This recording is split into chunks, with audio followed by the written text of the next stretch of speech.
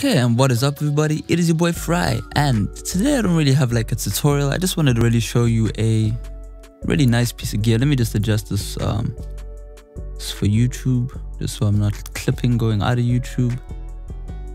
And okay, that looks a bit better. Uh, yeah, so pretty much, uh, let me just do this as well. You learn something every day. There you go. Soft clip it at minus 2.5, so it does not distort. You know what I'm saying? As you can see now, it is brick wall.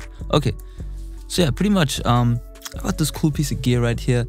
As you can see, there's my hand, my skinny hand, whatever. Whoop, and I bumped the tripod. And yeah, I mean, you can check out the little ghetto. You know, I try to print out the um, little sheet for it, right? FL Studio did make one. You know, basically this thing runs off the, I'll tell you what it is basically, but uh, where should we go? Okay, so basically, right, in about 2007, right, uh, Mackie released something called the Mackie Control Universal, right, which is basically like this mixer can emulate, from what I understand, um, there's three different emulations on this piece of gear, right? So basically, the first one is the Mackie Control Universal, right? Which is a generic thing that basically takes the form of any um, DAW, which is your your FL Studio, whatever you want to call it. And um, you know, this is it is really cool because basically, you know, if I just click there, I now have a three-band equalizer, right? So if we go and click on, for example, the mono channel, right, which is over there, as you can see, I'm doing a little bit of a a bump right there, but let's just say I wanted to get rid of the bass. You know what I'm saying? I can move it around there and I can adjust the Q or width, whatever you want to call it. And there you go. And if I don't like the sound of that, I can just bypass, you know, I can just go back to where it was, you know? So you can A, B. And I mean, really, if you're not mixing in FL Studio, you don't really need this, right? Because you always get those people who say, oh, this is a really big mouse, you know, which really it is. But, you know, who doesn't want, you know, record right there you know, the one thing that I always um, would get really angry about in FL is um, when I want to record people. So let's just say we got the mic input channel right there. We'll select it and uh, we'll just go back to track. And then, I mean, look at that. You know, I can record enable all of these channels with a touch of a button.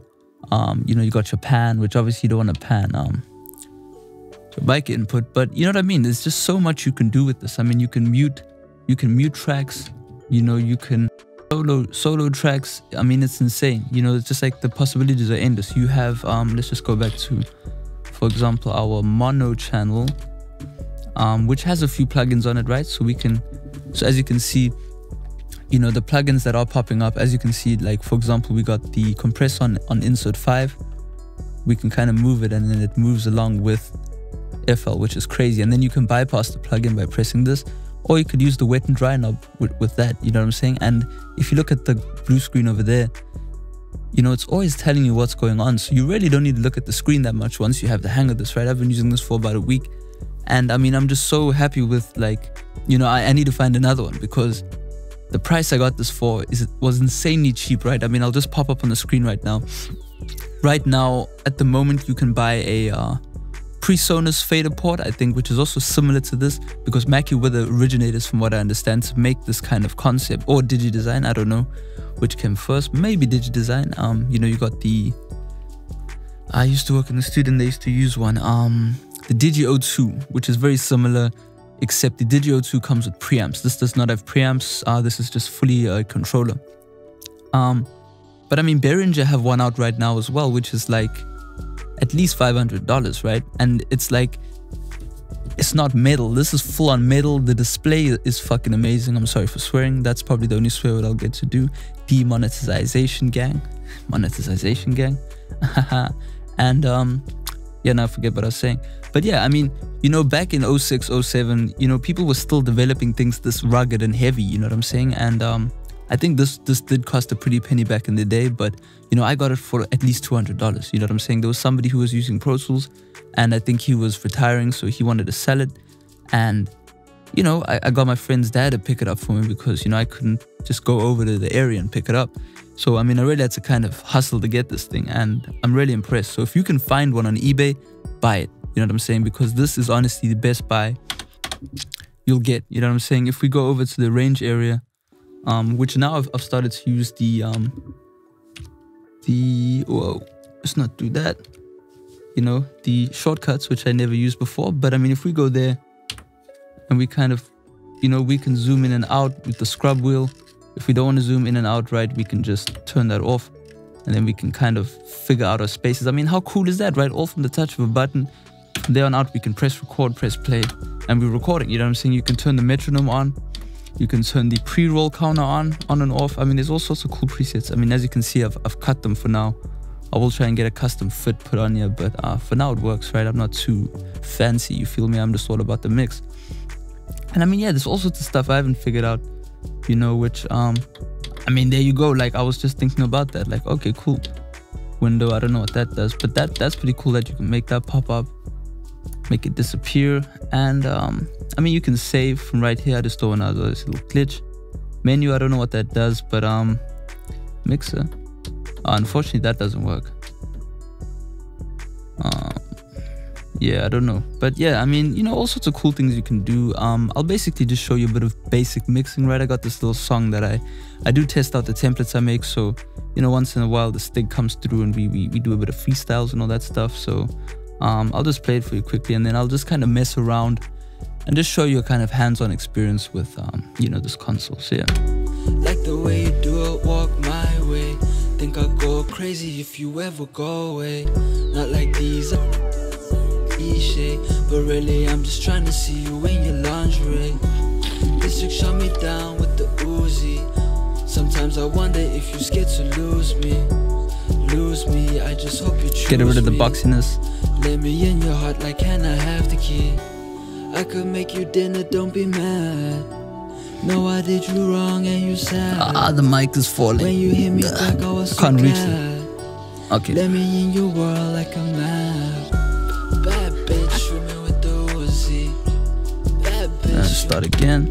Like the way you do it, walk my way. So Think I go crazy if you ever go away. Not like these other dudes, I ain't cliche. But really, I'm just trying to see you. You know what I mean? That's so hands on. You know what I'm saying? This chick me down with the Uzi. Turn it up a bit. Sometimes I wonder if you're scared to lose me. Oh, wrong channel. I just hope you choose me. Forgive me, it is hard to mix with this tripod in the way. Channel 5. No, I did you wrong and you said There we go. You know what I'm saying? It's it's a good feeling. You know what I'm saying? Let me in your world like a map.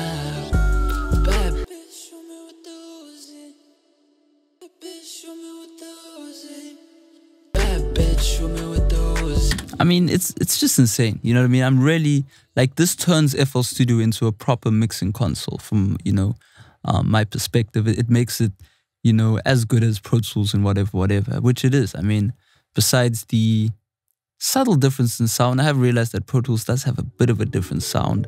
Um, I mean, obviously not like by much. It's all to do with the plugins and the way the um, the busing works and all of that. But um, yeah, I mean, if you do want to purchase one, you will need one of these. Sorry that I just um, noted this now. I did get this a couple weeks ago, but I didn't have this, so I wasn't able. As you can see, it every time I press something, it's transporting messages, right? So if you have an audio interface with a um, MIDI in and out port, because this is running via MIDI, um, and my audio interface doesn't have a MIDI port, so how this runs is it runs um, MIDI into USB, you know what I'm saying? So that's pretty much how you do that. And yeah, I don't really know what else to talk about. I mean, I like I really hold this in the best regard. This is the best thing that I've ever bought. I did own, I do own, sorry, one of these, which I'll just get on here for a second, which is pretty damn heavy. But this is a Behringer BCR, right? So this is the rotary control. And right now at the moment, I'm using it to kind of set up like, for example, an SSL plugin. Um, unfortunately, I don't have a plugin right now, so I can't do it. But, um, you know, you can use this to set up, for example, the EQ channels, and then you can do your EQing without actually touching the screen, which is a bit useless. That's why I kind of decided to get this instead. Um, but yeah, basically Behringer also has the BCF, which is also motorized faders, right? You see, the problem with this is FL Studio doesn't remember where the, the, rotary knob was, but like if I close a session and open up a session, like it knows, you know what I'm saying? Like as you can see, it's all motorized, it's doing its thing, it knows what's going on, you know what I'm saying? And these work like magic. I mean, you know, you just really got to take good care of one of these consoles. I'm really scared it breaks. Um, I cover this thing with plastic every night just to make sure the dust um, does not eat it. But yeah, that's basically it. Um, I don't really have too much else to say on, on my mind right now about this thing. Um, I just thought I'd do this video. It's been kind of uh, you know, while getting used to this thing, I'm like, wow, I actually really enjoy mixing in FL now. You know what I'm saying? Like I can literally just turn the screens off and mix, you know what I'm saying? Besides the fact of um, that I only have EQ to adjust. You know, uh, if they had a compressor here uh, in, in here as well, that would be pretty sick. But um, is what it is. And yeah, it's your boy Farai, the big mouse. And um, yeah, have a good one. Peace out.